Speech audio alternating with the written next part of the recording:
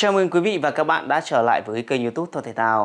Thưa quý vị và các bạn, sáng nay 11 tháng 10, Argentina có màn tiếp đón Uruguay trên sân nhà trong khuôn khổ trận đá bù lượt trận thứ 5 vòng loại World Cup 2022 khu vực Nam Mỹ. Thi đấu ngay sau khi Brazil bị Colombia cầm hòa 0-0, nên Messi và các đồng đội đã vào trận với quyết tâm rất cao. Ngay sau tiếng còi khai cuộc, Argentina đã dâng cao đội hình để dồn ép Uruguay. Trong đối thủ không có phong độ cao, nên đội chủ nhà đã dễ dàng kiểm soát thế trận và liên tục bắn phá khung thành của đối phương.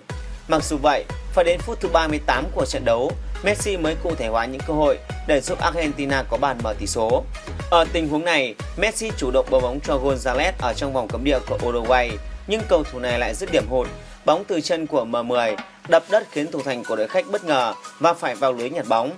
Sau khi có bàn mở tỷ số, Argentina càng chơi càng hay. Họ tiếp tục ép sân Uruguay, khiến hàng thủ của đội khách mắc sai lầm.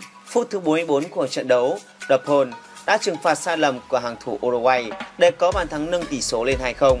Trong hiệp thi đấu thứ hai, Uruguay vùng lên mạnh mẽ để tìm kiếm bàn gỡ, nhưng trong ngày mà Cavani và Suarez không có phong độ tốt nhất, cộng với tuyến tiền vệ hoạt động thiếu hiệu quả, đội khách đã không làm khó được hàng thủ của đội chủ nhà. Đã vậy, sự yếu kém trong khâu phòng ngự khiến Uruguay nhận thêm bàn thua nữa ở phút thứ 62. Người ghi bàn nâng tỷ số lên 3-0 cho Argentina là Lautaro Martinez, cầu thủ đang thuộc biên chế của Inter Milan. Trong khoảng thời gian còn lại của trận đấu, Argentina và Uruguay tạo ra thế trận đôi công hấp dẫn.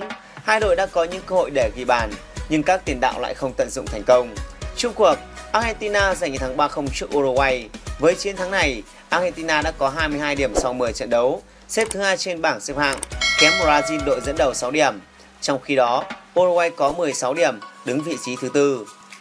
Cập nhật bảng xếp hạng vòng loại World Cup 2022 khu vực Nam Mỹ như sau. Brazil dẫn đầu với 28 điểm sau 10 trận.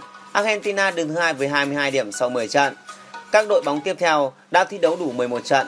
Đứng thứ ba là Ecuador 16 điểm, đứng thứ tư là Uruguay 16 điểm, xếp thứ năm là Colombia 15 điểm, Paraguay đứng thứ 6 với 12 điểm, Peru đứng thứ 7 với 11 điểm, Chile đứng thứ 8 với 10 điểm, Bolivia đứng thứ 9 với 9 điểm, đứng thứ 10 là Venezuela 7 điểm. Cảm ơn quý vị và các bạn đã xem video. Quý vị và các bạn có đánh giá gì về những tin tức của ngày hôm nay? Hãy để lại ý kiến của mình phía dưới phần bình luận.